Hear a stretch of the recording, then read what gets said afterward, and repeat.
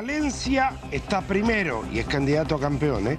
Hoy jugó contra los vascos de los Asuna. El primer gol de los Asuna, José Manuel Mateo, abría el marcador. Luego, en el minuto 18, Mendieta, un cruce para Gruchaga.